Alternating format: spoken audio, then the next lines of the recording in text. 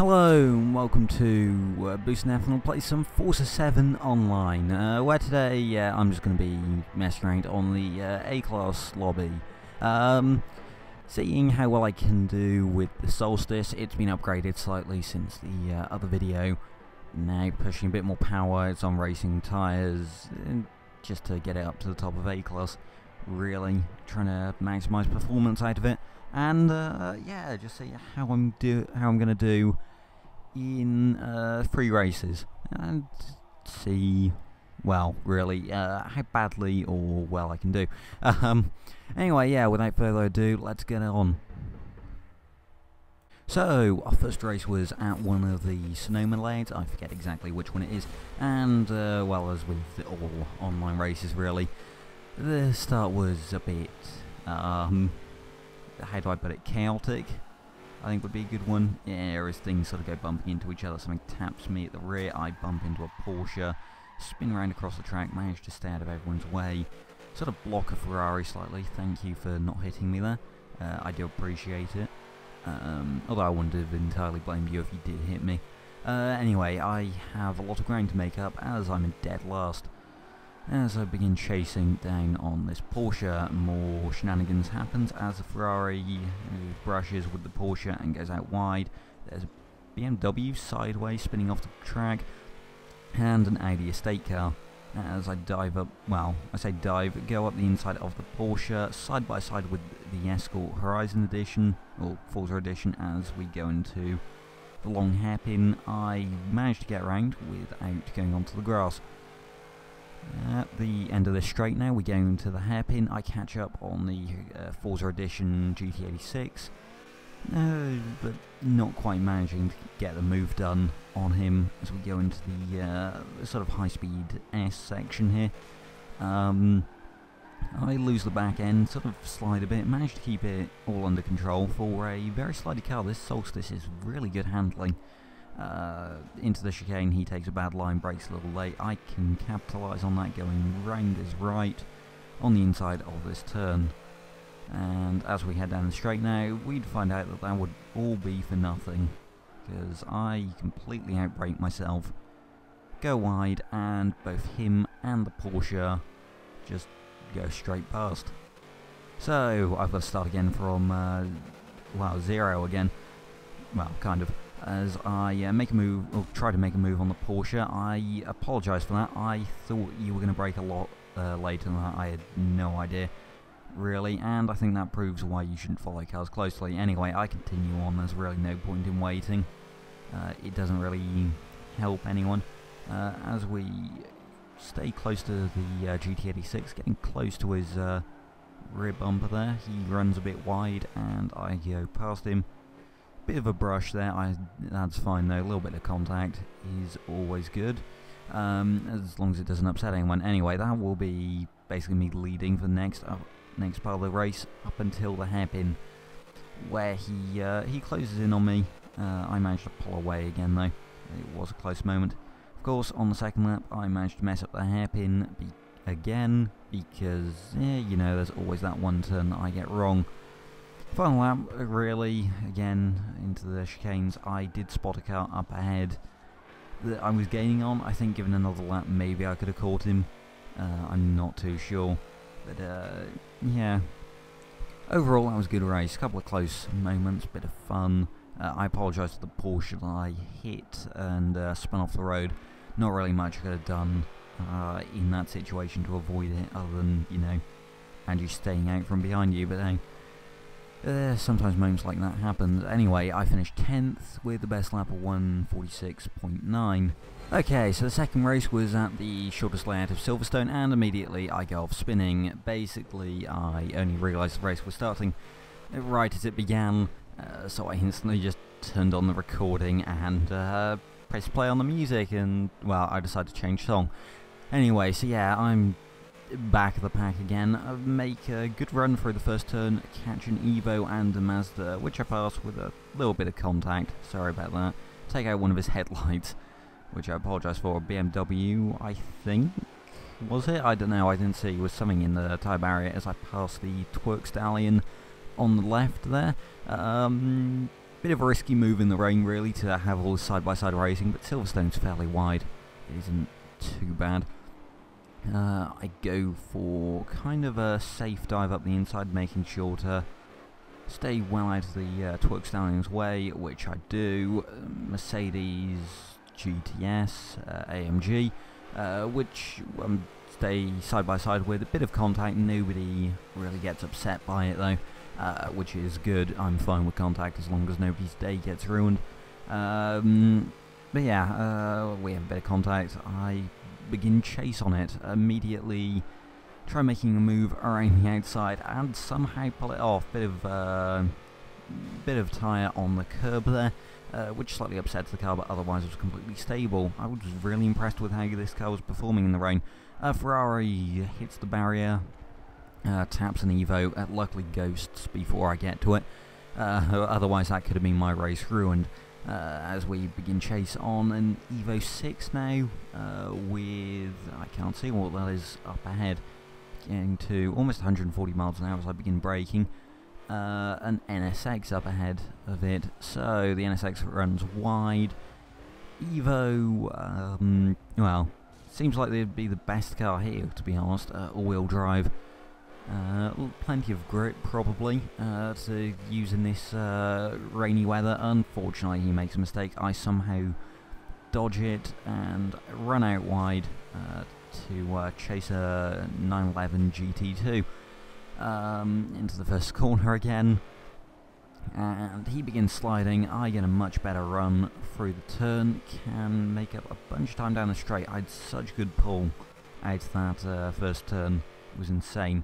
I go out wide. The Porsche misjudges braking. Well done on you for not hitting me there. Thank you. Uh, some good driving by you for keeping it all stable and not just losing control. Um, and we begin chasing the NSX, which still has quite a way ahead of us. So that's going to be difficult to really make up as we take these next few turns now at a BMW up ahead of the NSX that as we slide through the turn still not particularly making up any ground. Uh, on this turn again the next lap the BMW goes for a spin uh, leaving me to gain another position and get a bit closer to the NSX which is always good hoping to make a move at any possible moment. As we head back into the first turn trying to get as close as possible as we break. I try and stay close to the fire-spitting NSX, uh, try and do everything I can to uh, get as close to it really, stay in its slipstream, carry as much speed. Unfortunately, it would not be uh, my day, as I make a mistake and uh, my luck runs out. You slam into the tyre wall and lose a position to the BMW. So I've got to make up all that ground again in two laps. Well that's not going to happen no matter how good of a driver you are, and especially not me. But I do manage to catch up with the BMW a bit. I will run a bit wide into the first turn on the final lap, and uh, just me trying to push it into the final couple of turns now. The BMW makes a mistake, overcooks it, and I go around the outside getting sideways He's right on me, he could make a move if I make a mistake, although he's sliding quite a lot. I kind of want to join him in on the drifting, but at the same time I'm not good enough a driver to really hold it. Um, I'd most likely just spin. So as we head towards the finish line, and I cross the line in ninth place, best lap of 1 minute 03. Final race for today is at Lime Rock, the uh, the shorter circuit without any of the chicanes, thankfully, on online and this entire race was absolutely action-packed. I stopped behind the NSX uh, that I had such trouble with. The Evo comes up the uh, side of me, and immediately, well, there's chaos. I get rammed slightly, and R32 goes off, tries to rejoin, taps me. I apologise for that, but yeah, nothing we can really do. NSX falls behind me, which is good for me, as uh, the Caterham uh, gets caught up by a Porsche. I get close to it, something goes off on the left there, a Peugeot hits the wall as I go slightly rally crossing. Um, Stay, staying close to the Caterham now, some, somehow I can keep up with it through the braking zones, carrying a bit of speed, trying to find a way round, get a bit of wheel spin at the top of the hill there. So I try and go for a dive up the inside, get a get my car up sli slightly sideways, uh, sort of understeer across the road, get in front of the Caterham. I apologise for that, completely my fault there. Uh, he wasn't too affected until the next turn where we get into another battle. The NSX is right behind me, meaning we're going to have a nice free car battle most likely. Um, as me and the Caterham go side by side down the straight, I'm getting slightly squeezed out, but managed to uh, keep it, keep myself on the road until sort of halfway around the turn where I get caught on the grass and understeer wide. The NSX clearly has a few problems too, as both a Evo and something else, I believe that's BMW, uh, go past it. Um, as I um, begin chase, uh, quite a big gap between us to be honest. Um, biggest space I had between the car this entire race. As we enter the turn, there's more chaos as something's understeered off. I believe that's BMW M2. Peugeot swerves across the road, and I'm back on the Caterham. Uh, I take it nice and easy into this turn, not wanting to create another problem like I did the first lap, uh, and managed to still stay close into this uh, long, the final turn. Um, I'm right on the Caterham again, gaining on the NSX, as I decide to go too wide, and the Caterham makes it three wide. Uh, as we all brake, the Caterham wisely decides to drop back, while the NSX stays in the lead, I get a nice overtake on the Caterham, hoping I can pull something on the NSX. Well, uh, we stay close. Me, I can't really find a way past the NSX. It's doing a good job of defending, but I'm just not good enough of a driver.